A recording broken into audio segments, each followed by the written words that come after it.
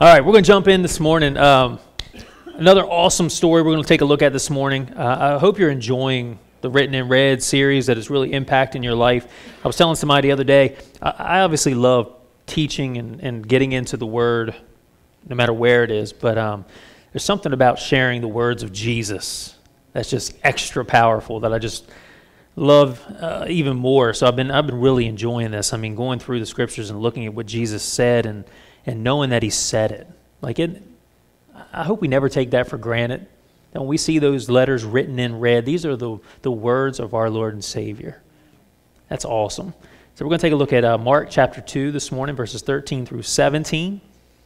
Um, we are going to look at a lot of scripture this morning, even though we're going to be anchored just in these five verses this morning. We're going to look at a story that's also um, told in Matthew chapter 9 and Luke chapter 5 as well. So you may want to just jot a note down uh, to read those as well, because again, like we talked about last week, whenever you have multiple accounts in the scriptures, uh, we get different points of view and different perspectives, so it helps to fill out the story. So I would encourage you to read those as well. We're going to be in Mark chapter 2, starting with verse 13.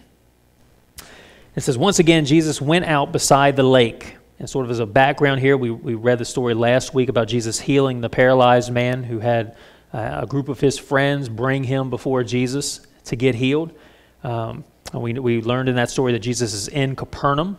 This is sort of his home base where he set up ministry at. This is a, where Simon Peter lived and many of the other uh, disciples. So this is where Jesus is when it talks about beside the lake. Uh, it's the lake of Gennesaret. It's also the Sea of Galilee. It's referred to a couple of different names. So this is where Jesus is. Uh, this will be important uh, for us in a second. And, and today's story really is, is, a lot like last week. There's going to be two parts to it. So you're kind of going to get a two for one special this morning. We're going to take a look at both parts of the story, and each one I think gives us a, a little bit of a different perspective, a different takeaway for us this morning. But we're going, we're going to put them together in the sort of one whole story this morning. So once again, Jesus went out beside the lake. A large crowd came to him, and he began to teach them. As he walked along, he saw Levi, son of Alphaeus, sitting at the tax collector's booth. Follow me, Jesus told him, and Levi got up and followed him. Okay, it's the end of the sort of the first half of this story, and it's only two verses, but it's jam packed with all kinds of awesome information and, and things to impact us.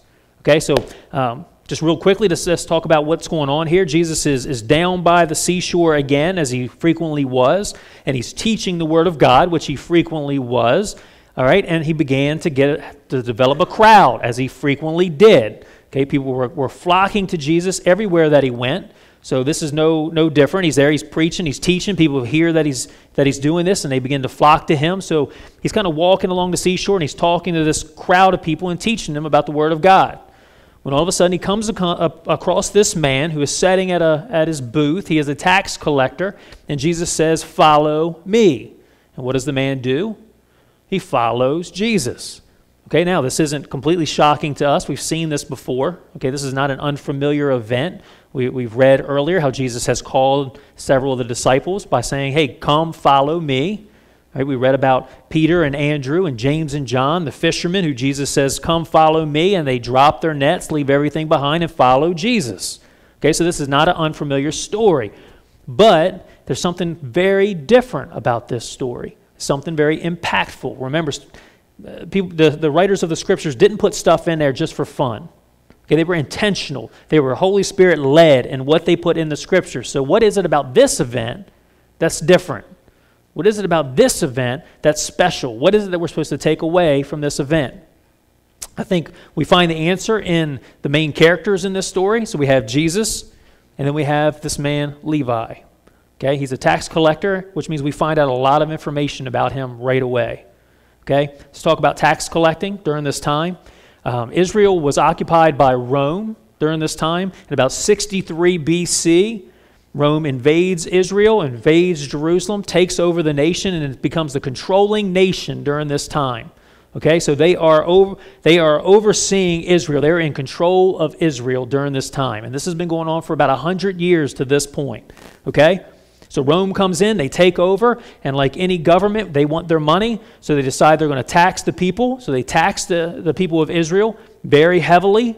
Okay? But what they found was they were having problems collecting the taxes. This became an issue. They were unfamiliar with the industries there, they were into, uh, unfamiliar with the culture there, so they found it very difficult to, to collect these taxes. So they came up with a more efficient way, and that was to hire Jewish men to collect the taxes.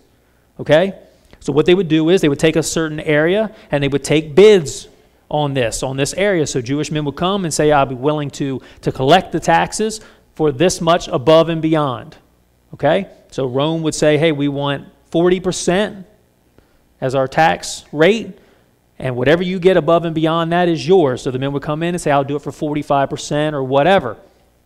And then one of these men was selected, and this was their tax area, so they would collect taxes Right, a couple ways that they did this where they, they would set up these booths along the highways, along the roadways, going in and out of the cities from one area to another. So they would collect these tolls, or they would go down by the seashore where there was industry, like the fishing industry, and they would collect taxes from, from the fishermen. Okay? These men were obviously hated by the Jews for several reasons. One, they're tax collectors. So, much like today, if you get a phone call from the, the IRS, you're not looking forward to that, right? It's not a conversation you, you're, you're wanting and saying, I hope the tax man calls me today. They were, so much like today, these people were, were despised, they were hated for a couple of different reasons. The first one being that they could charge basically whatever they wanted above and beyond what Rome demanded. So if Rome, if the Roman government said we want 40%, these men could say, okay, we're going to collect 45, but then collect 48, collect 50. Okay, some people, uh, some experts have, have believed that, they were, that the Israelites were taxed all the way up to 50% of whatever they made. Okay, so these men were extortionists, they were criminals, they were cheating their own people, so they were absolutely despised. Okay? Now, on top of that, that's not the only reason why they were despised. There was a bigger reason. It wasn't just that they were criminals, it's not just that they were cheaters, there was something else. These men were collecting funds for an occupying government. Okay? They were collecting money to support a government that had killed and oppressed their people for a hundred years. Imagine this. Can you imagine someone who would be collecting money to support ISIS from this country? To collect money to support ISIS and terrorizing the United States. Okay, that's what these men were doing. They were viewed as traitors. Okay, they were, they were viewed as, as a, a accessories basically to murder and oppression.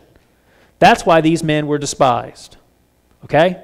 We find out that Levi, also known as Matthew in Matthew chapter 9, is one of these men. He is extorting his own people, he is supporting a, a foreign government that is oppressing and killing them. Okay? Now, we find out some other things, and this, this is a little more speculative, but we're given some evidence in here that maybe Matthew is hated even more than most. Okay, we, we read in Mark chapter 2 and also in, in Luke chapter 5 that his name is Levi. In Matthew 9, it's Matthew. Many experts believe that maybe he had two names, that he was Matthew Levi. And that's why we have him called two different ways. Experts maybe believe that this name Levi has historical significance, cultural significance to it. Um, many of you may remember that Levi is the son of Jacob and the ancestor of the Levites, the people that God chose to be the priests. Okay? So it's possible that Matthew is from that line, that he is a Levite. He is Matthew Levi, Matthew the Levite. All right? So he would have been viewed as someone who came from a line where he should have been serving God in the temple. Instead, he's serving and occupying government. Okay? So it's quite possible that this man was hated even more than most. All right? He would not have been someone that people would have associated with. We're going to read about that in, in a minute. Okay? He would have been someone who, again, was despised, that was hated, and yet Jesus comes across him and invites him to follow him, to be a disciple, to be one of his men, one of his guys, to have relationship with him. Okay? This is unbelievable First of all, this was not how it was done. A rabbi did not pick uh, his students. The students came to the rabbi and asked to follow him. Jesus is, is going against that. He is choosing disciples. He's saying, I pick you, and he picks this guy. All right? In eyes of the religious leaders of the time, it was bad enough that Jesus is picking no name fishermen. Nobodies. He's handpicking them. And now you're picking this guy, a sinner, a tax collector, and yet that's what Jesus does. He says, You follow me. I, we're not given a whole lot of details about this. We don't really know what's going through Matthew's mind, but I, I can kind of imagine. This is a guy, I don't care how hard and how callous you are, to know that you are hated can't feel good. To every day have men despising you, looking down on you, dreading the sight of you.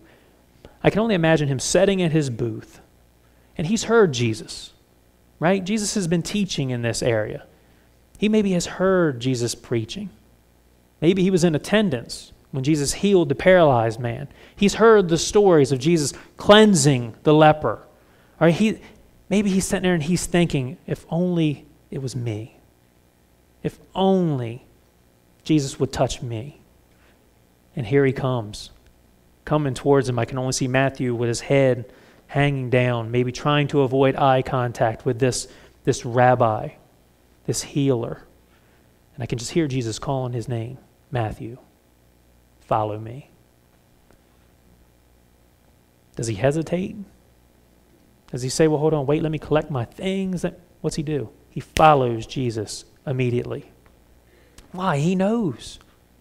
Right? He knows his condition. We're going to talk about this in a minute. He knows he's a sinner. He knows how, how he's viewed. And this man, this rabbi, chooses him to follow him.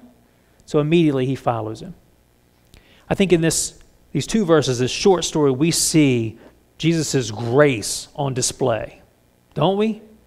This man has done absolutely nothing to deserve Jesus saying, Follow me. Nothing. He's not even one of the ones that comes to Jesus. Right? This man shows no initiative, shows no he's he's sitting there. And Jesus, out of his love, out of his compassion, out of his grace, he goes to him and touches him and says, Follow me. Unbelievable grace. All right, so let's continue on with the second part of the story, verse 15. It says, While Jesus was having dinner at Levi's house, and, and Luke is in his account is going to tell us that Levi throws a party. He throws this banquet in Jesus' honor. It says, Well, Jesus was having dinner at Levi's house. Many tax collectors and sinners were eating with him and his disciples, for there were many who followed him. And, I love that there's a designation here. It's not just sinners, there's sinners and tax collectors. Have you noticed that? This is a special class of sinner. Okay? This isn't just a sinner. This is, he's eating with sinners and tax collectors. I, lo- I love that. it says, When the teachers of the law, who were Pharisees, saw him eating with the sinners and tax collectors, they asked his disciples, Why does he eat with tax collectors and sinners? Okay, now how does this come about? How in the world do the Pharisees even get into this conversation? During this time, um, it, it, was not uncommon for someone to throw a banquet, to throw a dinner, especially somebody who has some money, who is very uh, affluent, which we, we assume that Matthew is, being a tax collector, for them to throw a party and it would be taking place outside, not inside in a kitchen, but outside in a courtyard. They would set out and eat. Right? This isn't our culture. There weren't fences, picket fences up all around it. People were able to walk by and see into the courtyards, to see in people's backyards and see what was happening. Okay? Now I'm going to assume that people haven't changed that much, that people are just as nosy as they are today. Okay? Right? Got any nosy people in here? Come on, tell the truth. If there's something going on, I'm going to look. I may even have an accident trying to look if I'm driving. I want to check it out. What's, what are they doing over there? What's happening? Right? So people would hear the noise, they would hear the sound, they maybe would hear the laughter, they would smell the food, and they would wander over to see what is going on. Right? What's happening here? And it was not uncommon for someone to come and stand and listen. Okay? So this party is taking place. We assume Matthew's got a pretty nice spread. There's lots of people here, lots of tax collectors, and a lot of sinners. And we know when sinners get together, it gets loud. So they're uh, having a good time. People are going, What's going on here? The Pharisees are always wondering what Jesus is doing. So they all of a sudden come over and start to listen, start to watch, start to pay attention. They look and they say, Hold on, wait, wait, wait. Jesus is sitting with all of these sinners and tax collectors. What in the world is going on? So they go over and they ask, one of the disciples. And I love this because this is something in the story that I didn't, I'd never read until this week. I'd never paid attention until this week. Um, Luke's account says that the Pharisees come over to the disciples and ask, Why are you, why are you guys, why are, why are you and Jesus, why are you all eating with sinners and tax collectors. Now, why is that important? Why, what's so unique about that? Where was this tax booth at? Down by the lake, right? It says Jesus is walking by the lake when he comes across Matthew at his toll collecting booth. It's highly possible that Matthew is collecting taxes from the fishermen. Who were Jesus' disciples? Many of them fishermen. So it's quite possible that Matthew has been extorting Peter and Andrew and James and John potentially for years. Right? When I read that, it just hit me all at once, and I was thinking, okay, we got to look at the disciples in this as well. Man, they're put into some uncomfortable positions, aren't they?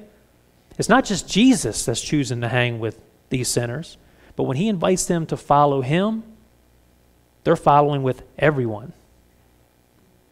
Everyone is now eating with sinners and tax collectors, all of his disciples. So they come over and they say, Why, why are you all eating with, with these people? Right, it was commonly believed at this time the Pharisees were, were, were very, very legalistic. We're going to talk about that word in a second. Okay? They, they believed that to eat with someone was to demonstrate fellowship, friendship, acceptance. Okay? So they would have been looking, saying Jesus is condoning what's going on with these sinners and tax collectors. He is being friends with them. Okay? They would have looked down on that. Then, on top of that, they would have looked and said, Hold on, you're eating food prepared by these sinners? Right, they were very ritualistic in that things had to be washed a certain way, things had to be prepared a certain way. And here Jesus is eating with these people who are not religious or not adhering to any of those laws, right? So, in every way, Jesus is breaking the rules. Jesus is defiling himself by being among these sinners, and so are his disciples. So they go over and they ask, Why does he eat with tax collectors and sinners? On hearing this, Jesus said to them, It is not the healthy who need a doctor, but the sick. I have not come to call the righteous, but sinners. And Luke adds to repentance. That's an unbelievably powerful verse. Right? Jesus says, It is not the healthy who need a doctor, but the sick. I have not come to call the righteous, but sinners to repentance. I love that because I believe there's a straightforwardness to what Jesus says. It's, there's, there's something that's obvious about that, right? Healthy people don't need a doctor. What is Jesus saying? I am the great physician. I have come to heal. I have come to take care of the sick, not the healthy. I love that. There's a straightforward simplicity to that that makes sense, that had to appeal to the Pharisees on a very straightforward level. He says, I have not come to call the righteous, but sinners. Now, besides this straightforwardness, I think there's also a little, uh, maybe sarcasm is the wrong word, and maybe this is my sickness coming out. I, I want to make Jesus a little sarcastic because then it justifies me being it. Um, I, I believe Jesus is saying, look, it's not the healthy, right? Why, why does this upset you guys? Why is this upsetting the religious people? Why are you guys so upset? You're healthy, right? Why would I come to hang out with you? I came to be with the people who are sick. That's not you. You guys aren't sick, obviously, right? You guys are healthy. I came to be with sinners not the righteous. You're the righteous, so why would I be with you? Aren't these the people I should be with? And I love that because, it, again, it, there's, there's this biting kind of sarcasm in that that cuts the Pharisees and is intended to cut the Pharisees, right? Because what is Jesus saying? Anytime Jesus uses the word righteous or righteousness in terms of the Pharisees, he never means it as righteousness as we would understand it. Okay, righteousness means to be able to stand before God in right standing, to be pleasing to, the God, to God, to be acceptable to God. That's what righteousness means. Jesus never uses that when he's talking about the, the religious leaders of the day, when he's talking to the Pharisees. He always means it as self righteous. Okay, Jesus is saying, I came here to call sinners, not the self righteous. Right? The Pharisees got this. They are not missing this. When Jesus talks like this, they know he's talking to them and he is not being kind. Okay? Jesus, I've come for the, for the sick. I've come for the hurting. I've come for the broken. I've come for the sinners, not those who are self righteous. And see, I love this because Jesus is not distinguishing between healthy people and well people. He is not distinguishing between sinners and people who are not sinners. What he's saying is, we're all sinners. There are those who know it and those who don't. Okay? Listen, do healthy people typically go to the doctor? No. Not typically. It's usually something wrong if healthy people are going to a doctor. Do sick people go to a doctor? Yes. Do sick people who don't know that they're sick go to the doctor? No. So, what Jesus is saying here is, I've come for those who recognize their sickness. In order to repent, which he says, I've called them, I've come to call them to repentance. In order to repent, you must recognize your sin. Okay? So Jesus says, Look, I've come for those who recognize they're sick. I've come for those who recognize that they are sinners. I haven't come for the people who don't realize it. Okay? I love that. I want to read something real quick that I came across as Jesus as the, as the physician. It says Jesus is the perfect physician. He is always available. He always makes a perfect diagnosis. He provides a complete cure, and he even pays the bill. I love that. Jesus says, That's who I am.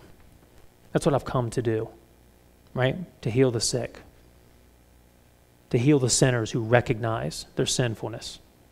Okay, now, I want to talk about the Pharisees for a second okay, because I believe there's a great contrast in these two parts of the story. The first part of the story is about Jesus and this man, Jesus extending this unbelievable grace to this man who has done absolutely nothing to deserve it. In the second part of this story, Jesus has a confrontation with the Pharisees, those who believed that they were righteous, that believed that they were righteous because of their own works.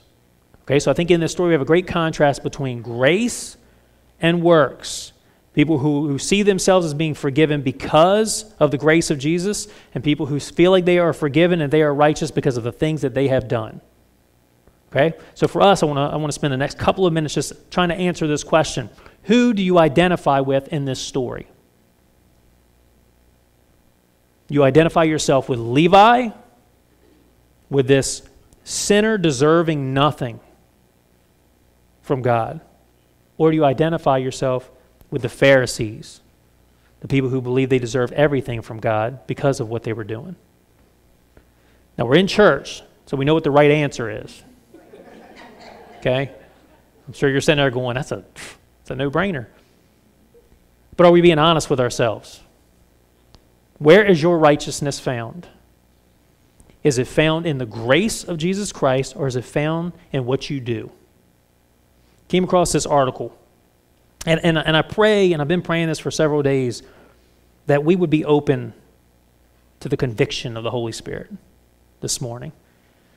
That we would be willing to lay ourselves open, to lay ourselves open bare before God and say, God, examine my heart, examine my mind, and show me what is true. Charles Spurgeon once said, We are all born legalists. We're all born legalists. Uh, this legalists were what the Pharisees were. Okay, and basically legalism is defined this way. Maybe you've heard the word legalistic or legalism or, or one of those words. This is, this is how John Piper defines legalism. He says legalism is the conviction that law keeping is the grounds for our acceptance with God. All right, we'll read that again. The conviction that law keeping is the grounds for our acceptance with God. And then he adds this it is a failure to be amazed by grace.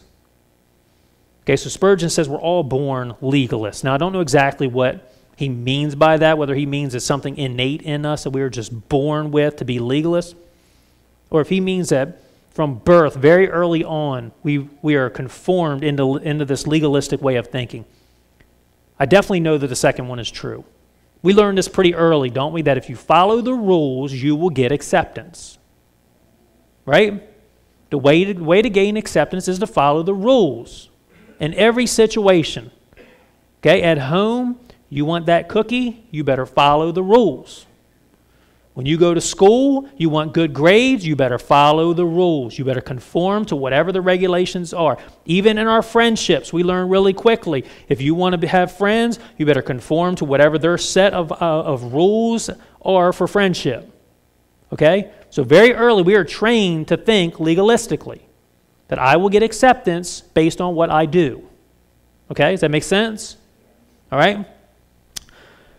So the question becomes is do we carry that into our faith? And the answer is absolutely. Absolutely. We don't it's not a light switch we just turn it off and on. It is something that we carry into our faith and we must be broken of. Okay? Now, so I want to I want to talk about this just a little bit. I came across this this uh, article this week called The Making of a Modern Pharisee. And it's written by a guy named Marshall Segal, and it's, it was on desiringgod.org, I think. It's John Piper's website, Desiring God. Um, and this guy wrote, wrote this article, The Making of a Modern Pharisee, and in it he identifies six signposts along the highway away from grace. Okay? He's not saying that if you identify with one of these signposts that you are absolutely a Pharisee. What he's saying is you are on the highway headed away from grace, not towards grace. Okay? That we are headed towards being a modern day Pharisee. Now, I just want to say this about Pharisees, uh, and I've said it several times before.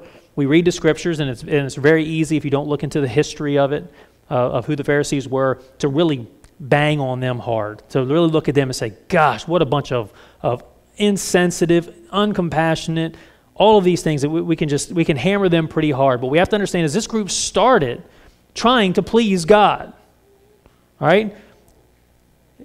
They started off saying the, the word pharisee actually means to separate. They're saying we want to be the separated ones. We want to be the ones who follow god's law and follow god's rules as closely as we can because we want to honor him and, and we want him to be pleased with us. That's how it started. But very quickly legalism began to set in, and it wasn't about pleasing God anymore. It wasn't about His love and His grace and His mercy. It was about them and their actions and their rules and their traditions and their convictions. Okay?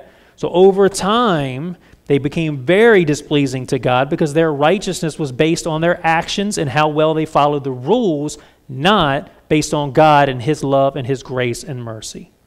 Okay? Now, what I'm going to contend this morning is that, again, we have been conditioned to think that way, and it is so easy to slip into that way of thinking when it comes to our faith, where pretty soon it's not about grace, it's not about mercy, it's not about forgiveness, it's about how well we are, we are following the rules. Okay? And we become, we, we become dependent on that for our righteousness instead of God's grace. Okay? So let's go over these really quickly. Six signposts that maybe we are heading away from grace, that we are not trusting and depending on grace as much as we are our works. All right, number one. Says, Pharisees know what to say, but do not do what they say. Hmm, that's right. That should have been everybody's reaction. Hmm. How many people in here are honest enough to say that there is a dissonance between what you know to be true and what you do? Anybody? There should be everybody all of us should say, man, I, even if you're not a Christian, even if you're not a Christian this morning, I, I would bet everything that I have that there is a huge dissonance between your ideal self, whatever you think you should be doing, how you should be living, all of that, and what you're actually doing. All of us have it. All of us have it. Okay? This says the Pharisees knew what to say, they didn't do what they said. Now, the problem comes in that when we decide that we're okay with it. Okay, there's always going to be a dissonance. Till the day we die, we are never going to close that gap completely. We are never going to be exactly who we know that God wants us to be. The question is, are you okay with it? Do you try to justify it? Uh, who was I talking to? Might have been Mike Haas. Um, a familiar thing, a common thing that people say is, well, we're only human, right? Well, we're only human. You know, uh, yeah, I'm, I'm, I'm just a sinner. Well, yeah, that's true, but what we're saying when we say that is we're trying to justify the dissonance. We're trying to justify the separation. It's saying we're okay with it. All right? When we're okay with that, there is a problem. Matthew 23, 1 through 4. It says, Then Jesus said to the crowds and to his disciples, The teachers of the law and the Pharisees sit in Moses' seat, which means they, they are the teachers of the law says, So you must be careful to do everything they tell you to, but do not do what they do, for they do not practice what they preach. I love that. Be careful to do everything they tell you to do. Do what they say. Why? Because these people knew what the word said. Their problem was not in knowing what the law said, what the word said. It said, listen to what they say, do what they say, but don't do what they do. So they tie up heavy, cumbersome loads and put them on other people's shoulders, but they themselves are not willing to lift a finger to move them. Are you okay with knowing what's right? Or do you have a desire and a passion to do what is right? See, the Pharisees justified. They saw their faith as being theological, How many people would say, man, I find so many times that my faith is more theological and more theoretical than it is practical? I fall into that category a lot. And we find out when stuff happens in our life, how do we respond? We respond in a way that's very counter to what we say we believe, right? That is a sign to us that our faith is theoretical and theological, not necessarily practical. We don't put it into practice. That's a problem. If your relationship with Jesus lies strictly in what you know, that is a problem. That may be an indication that you are trusting in your intelligence, you're trusting in your intellect, you're trusting in your own understanding more than you are trusting in the grace of Jesus Christ. Okay? Number two, Pharisees practiced their faith to be seen by others. Hmm. Anybody struggle with that? Now, this requires honesty, doesn't it?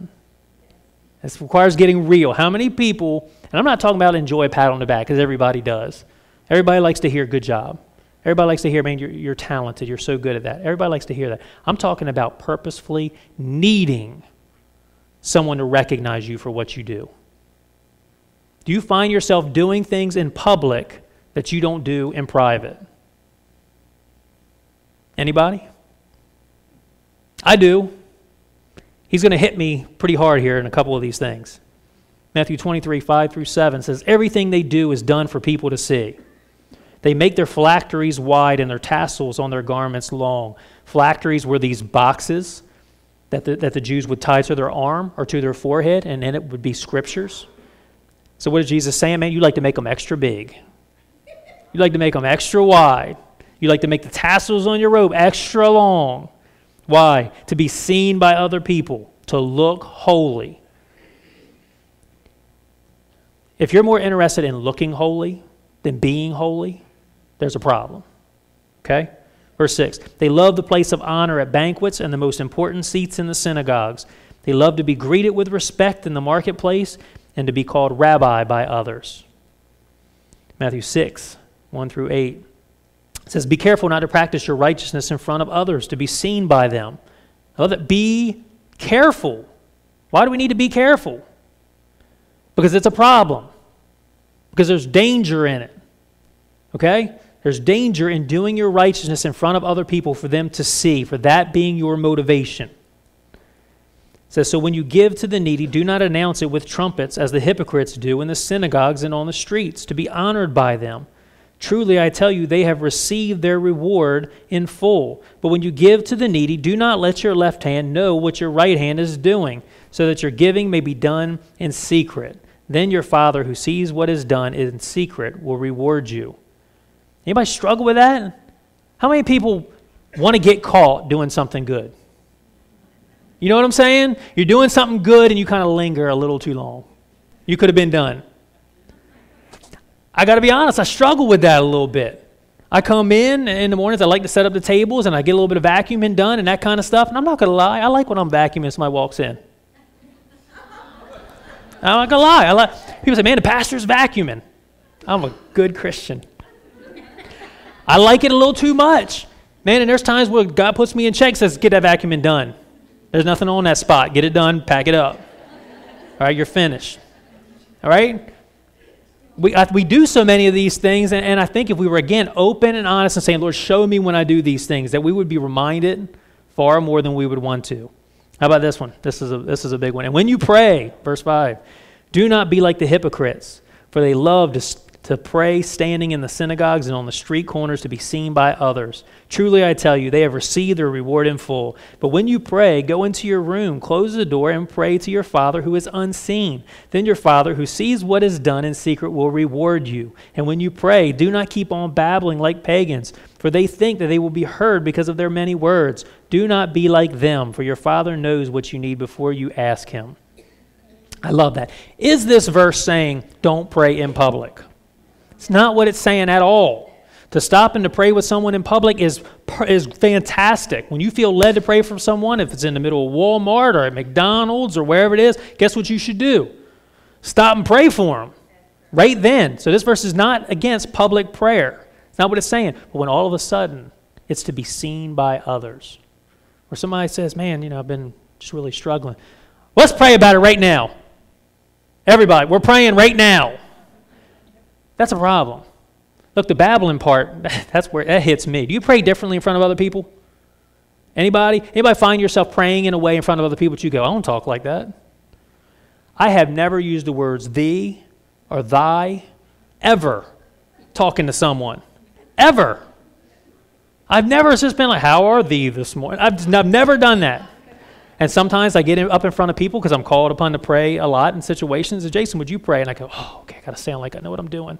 Father, we love thee. We come before thee. And I'm going, I don't talk like that. Why, do I, why am I doing that? I'm trying to impress people. And that's a problem. That's a problem. There's been times where God has checked me on that. Well, who are you talking to? That's not how you talk to me normally. Okay, when we begin to change the things that we do when we get in front of other people because we want them to think well of us, we want them to think we're Christians, we want them to think we got our stuff together, we want them to think, that becomes a problem. For the Pharisees, it was all about show. Again, they were more interested in looking holy than being holy. Are you more interested in looking holy or being holy?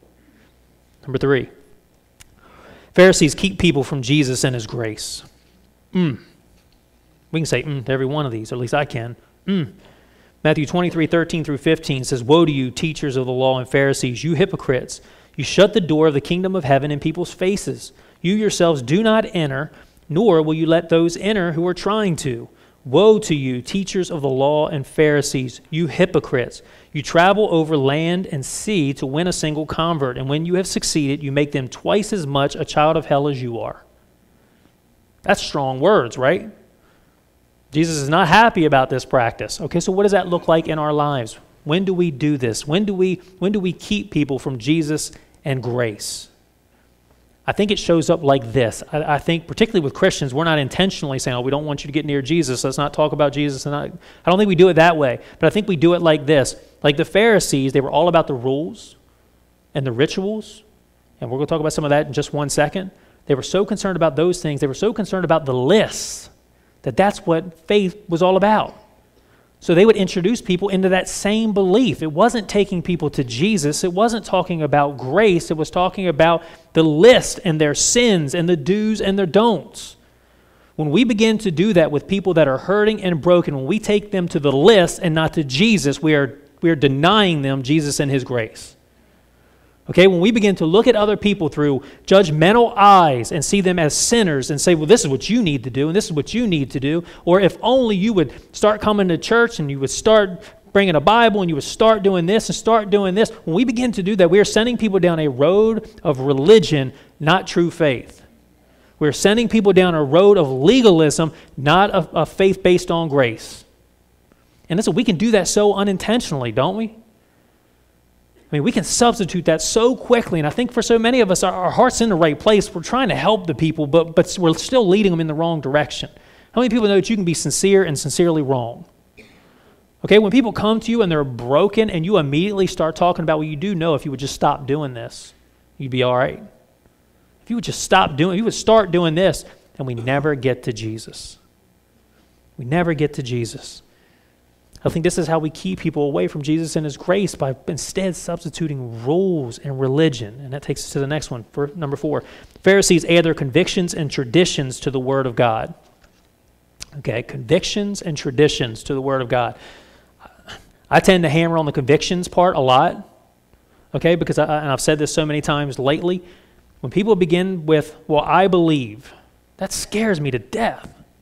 Well, I believe unless the next word is out of your mouth or I believe Scripture says, I almost want you to shut up. Like, I know that maybe comes across as mean, but man, we lead people down the wrong path so many times by what we think is right. We talked about this Thursday night. Proverbs tells us there's a way that seems right to a man that leads where? To death, that leads to destruction. It sounds good, and I think we may even mean well by it. But unless we're pointing people to Jesus and using the scriptures to back up our opinions, we could be misleading people. We could be keeping them away from Jesus, not taking them to him. Okay, so our own personal convictions about right or wrong have got to be based on what we see in the scriptures, not just what we think, not just what we've experienced. What does the scriptures say? Okay?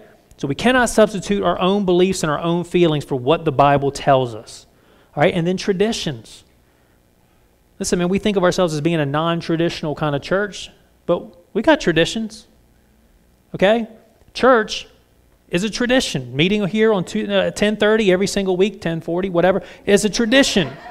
Right? That's what, that's what we do here. So when we begin to start looking at other people, we start making judgments about them based on our traditions rather than the Word of God, there's a problem. Right? When we begin to start looking at people saying, well, that denomination, yeah, they don't really love Jesus. Look how they dress. Yeah, those people don't really love Jesus. They don't even have a drummer. They don't even have a, they don't even have a guitar player. They can't love Jesus like that. When we start looking at those, these are traditions for us. Okay, the song, the type of music that we sing, where we meet, how we dress, all of these things are our traditions. And we cannot impose those on other people. Why? Because they are not the Word of God. The Word of God does not say you got to meet on Sunday morning at 10:30 in this building. He didn't say that. He didn't say, hey, you got to sing this kind of song. He didn't say that. He didn't say you got to dress a certain way. He didn't say any of that kind of stuff. So when we start making that stuff on par with God's Word, we create problems. Okay? Our convictions and our traditions can keep people away from God. Mark 7 9 says, this is talking about, this is what Jesus said. And he continued, You have a fine way of setting aside the commands of God in order to observe your own traditions. Hmm. That's tough, isn't it? We're not as concerned with what the Word of God says as we are with the way that we do things. Right? Listen, I'm, I'm guilty of this a lot. I like tradition. I like the way I want to do the same thing every week. Right? But when you start reading the scriptures and just saying, hey, man, pray for people. Call the elders of the church, anoint people with oil, and pray that they be, that they be healed. Is that going to take precedent, or are your traditions going to take precedent? Listen, when somebody says, Can I share something? Whew, that makes me nervous. Especially with some people, I'm not going to lie. That makes me nervous. I just want to say, let's stick to the script. We've got a plan. If it goes well, let's stick to it. Right? When I start substituting that for the Word of God and where God wants to lead and where the Holy Spirit wants to lead, we got problems. When we become so satisfied with our traditions and the way that we do things and we're happy with our routine, it leads to problems. It's leading to legalism, not grace. Okay? Number five, Pharisees lack love for people in need. Matthew 23, 23 through 24. Woe to you, teachers of the law and Pharisees, you hypocrites! You give a tenth of your spices, mint, dill, cumin, but you have neglected the more important matters of the law justice, mercy, and faithfulness. You should have practiced the latter without neglecting the former. You blind guides, you strain out a gnat, but swallow a camel. That one is, that one is huge. I believe if, if Scripture makes anything clear as to what should mark a Christian, it should be love, it should be compassion, it should be kindness, it should be gentleness, it should be all of these things. Don't look at them or point at them if they're here. But how many people know somebody who doesn't display that at all? Man, they got the religion part down. I mean, they can they can quote you the scriptures. They've been they have perfect attendance for the last 50 years. I mean, they have got it down pat, and then you look at them and go, "Gosh, you're mean." I won't say who it was. There was a lady, man, that taught Sunday school when I, when I was a kid. Maybe she wasn't as mean as she looked, but gosh, I mean, been in Sunday school, taught Sunday school for 120 years. I mean, she was old. It just had all that stuff right, prim and proper, dressed all right, and everything in church every single week. And I was just like, but you're so mean. You know what I mean? Like, there should be a, a love and an affection and a concern and a care that comes from the people of God. We should not run away from situations like that. We should run towards them. Okay? Look, when the, when the Pharisees asked Jesus' disciples, Why are you eating with these people? That's what we're called to. We're called to be, this place should be packed full of sinners. I mean, rank sinners, not like you good people. You know what I'm talking about? But how many of us run from people like that? Oh, that's going to be messy. That's going to be ugly. They make me uncomfortable. You know, we, how many people run from those kinds of situations? We should be drawn to them. We should be running to those kinds of people. We should have compassion on them. Like when you think about someone, is your first thought one of compassion and kindness, or is it of judgment and condemnation? I mean, seriously, and I'm talking about people that are hard and difficult, maybe to find those things in.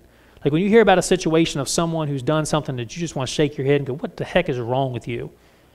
Is, is that our common reaction, or is our reaction to say, Man, this person is obviously broken? There's something broken in this person. This person needs Jesus. Which one of those is your common response? I mean, Luke 10, 31 and 32 tells us about the, the, the story of the Good Samaritan. And the first two people that passed by this man in need, they justified it, right? Well, I can't make myself unclean. I don't want to get involved in that. What if, you know, what if I get jumped? I'm going to avoid that and I'm going to keep on moving. We can justify that, right? We can look at people and say they're, they're difficult, they're hard to get along with, they're abrasive, they're rude, they're all of these things. We can come up with all those excuses, but we are to be drawn to those kinds of people, not repelled by them, right? We should be going towards people in need, responding in love, not being judgmental and condemning to them. Last one Pharisees cover sin instead of confessing and repenting. Hmm. Matthew 23, 25 through 28. Woe to you, teachers of the law and Pharisees, you hypocrites! You clean the outside of the cup and dish, but inside they are full of greed and self indulgence. Blind Pharisee, first clean the inside of the cup and dish, and then the outside also will be clean. Woe to you, teachers of the law and Pharisees, you hypocrites! You're like whitewashed tombs, which look beautiful on the outside, but on the inside are full of the bones of the dead and everything unclean. In the same way, on the outside you appear to be to people as righteous, but on the inside you are full of hypocrisy and wickedness. Wow. Do you look to cover your sin or do you look to repent of your sin? Again, are you concerned with the appearance? Are you concerned with the heart? Look, church is a, a song that I heard years and years ago. I think it's a Stained Glass Masquerade by, by Casting Crowns. Great song. I would encourage listening to that. Have you ever felt like everybody at church has it together but me? You ever felt like that? I can remember when I first became a pastor, man, I, I would be with other pastors and I would look and go, gosh, I'm a screw up. These guys have got it together. And then I got to know them and I went, nope. You're screwed up too. Right? But we want to play the game. We want to play the game. We want to come in as though we got our life together. Everything is good. I can handle everything. Man, when are we going to get honest? I'm telling you, that's one of the things I'm loving about Thursday night with the men. People are being honest. And I think it's only going to get more honest. Are you more concerned with how people look at you? That, oh man, I can't, I can't fall apart. I can't cry. I can't demonstrate that I'm struggling with my faith. I can't do those things people, people won't think I'm a Christian. Are we more concerned with that, or are we concerned with being real and honest and authentic? Are we, cons- are we more concerned with finding someone that we can say, dude, I'm struggling? 1 John 1 6 through 9 says, If we claim to have fellowship with him and yet walk in the darkness, we lie and do not live out the truth. But if we walk in the light, and I love that, walk in the light, don't we want to walk in the light? How many people want to keep hiding stuff in the shadows? But if we walk in the light as He is in the light, we have fellowship with one another. Listen, it, that keeps us from true fellowship, doesn't it? As long as we play the game that everything's good, I got it all together, I don't have any issues, I don't have any problems, it puts a barrier between us as, as friends, as Christians, as brothers and sisters in Christ. We can't have the true intimate fellowship that God wants us to have when we put up that masquerade says we have fellowship with one another in the blood of Jesus, his son, purifies us from all sin. If we claim to be without sin, we deceive ourselves, and the truth is not in us. If we confess our sins, he is faithful and just and will forgive us our sins and purify us from all unrighteousness. That's a great promise, isn't it? And it starts with what? Verse 9 starts with what word? If. If we want to be forgiven, we want to be purified of all righteousness, then we better be honest. We better be honest about our sin. Does that mean that we just blurt it out in front of everybody? No. No. Jesse and I have had conversations about this. There, there are people that are safe and there are people that aren't safe. Unfortunately, some of you guys aren't safe. You, you're going to blab everything that's told to you. And, and man, shame on us when we do that. Shame on us when we do that because we destroy trust. We destroy what this verse is talking about. I mean, all it takes is for you to blab what someone has confided in you one time, and guess what? They won't share anymore. You've destroyed fellowship for that person. All right? We need to be people who are open and honest and respect one another's privacy, hurts, pains, all we need to look to protect people, not, not exploit it for our own purposes. You know, I mean, I know that's the way our society works. You hear something juicy, you just got to tell somebody, right? We got to put it out there for people. That's not what we're called to do. The Bible talks about us covering one another, protecting one another. Okay? We got to have that mindset. We got to prove trustworthy so that we can be open and honest and transparent. Listen, if you don't have at least somebody that you can talk to and be honest with and say, I am really, really struggling, that's going to eat you up. That's going to eat you up. You're not going to receive forgiveness for that. Why? Because it's going to fester and get bigger and bigger and bigger and impact all kinds of areas in your life. Are you willing to confess your sins to one another? Are you willing to be open and honest with somebody? Find somebody to do that with. Okay, because if not, you're going to put up the front, you're going to pretend everything's okay, and it's going to be about appearances, and it's never going to get into the heart. God is not going to be able to transform your heart, which is what He wants to do right? He's not as concerned about you following the rules as he is as your heart being changed to love him and love other people. Okay? Tim Keller said something that I felt like really tied all of this together. You know, this uh, grace versus works driven faith. You know, which, which one are you living out? Are you living this grace? Man, Jesus reached out and touched you when you did not deserve it. Not because you cleaned up your act. How many people had somebody tell you that? You invite them to church, and what do they say? Well, I get myself straight, and then I'll get there. Yeah. No, no, that's the complete opposite of grace, right? If we do something to earn it, it no longer is grace. Okay? Is that, do you realize that my faith, my righteousness, my ability to stand before God comes strictly from the grace of Jesus Christ? That's it. Or are you setting, basing your, your faith on your works? on what you do? Do you look and say, God, you should, you should be blessing me right now because I've earned it? Are you going to stand before God and say, Here's my list of things that I did? I've earned it. I deserve to be here with you. Which one is it? I want to warn you. I want to warn me. It is so easy to slip into that legalism. It is. It is so easy. And that's why going back to the cross constantly reminds us of no, this is grace. This is grace. This is grace. Tim Keller said this You obey the lawgiver because you have to. I love that. You obey the lawgiver because you have to, but you obey the grace giver because you want to. I love that. Why do you do the things that you do? Because you have to or because you want to? Why are you here today? Because you have to or because you want to? Why are you kind to people? Why are you nice to people? Why do you pray for people? Because you have to or because you want to? Grace compels us to want to. Legalism makes it an obligation, pushes us to have to. Grace or works? What are you basing your faith on? Let's pray. Father, I pray that you would help us to see the areas of our lives where we have been legalistic, where we are too like the Pharisees, Father, reveal that to us. Help us to be open and willing to, to see those things. And then, Lord, help us to give them to you. Take us to the cross. Help, help remind us, Lord, of your grace. That we, we have done nothing to deserve your favor. We've done nothing to deserve your kindness. We've done nothing to deserve your forgiveness. Lord, it's not because we've cleaned ourselves up. It's not because we're following the rules well. It's just simply because you looked at us and said, Mine. You looked at us and said, I want you. You looked at us and said, Follow me. Lord, help us to be appreciative of that, to be thankful for that, to live out of that, not conform to the way this world does things, which is to say you need to earn it, you need to deserve it, you need to prove your worth, all of those things. Father, our works are important. They are, they're, they're important, but they should be in response to grace, not trying to earn grace. We look at Matthew as an example, Lord. He, he was extended grace when he didn't deserve it.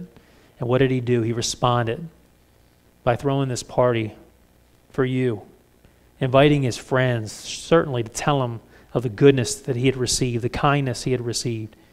May our, our works be a reflection of the grace that we receive, not, again, not an attempt to earn it. So, Father, help us to trust you, depend on you completely, not our own doing. Our righteousness is found in you, not in us. So we love you, Lord, and we thank you for this message today. May it be eye opening for us. May it be transform- transformational in our lives that we can serve you um, because we want to, because we love you, not out of obligation. So we pray these things, Lord, in Jesus' name. Amen.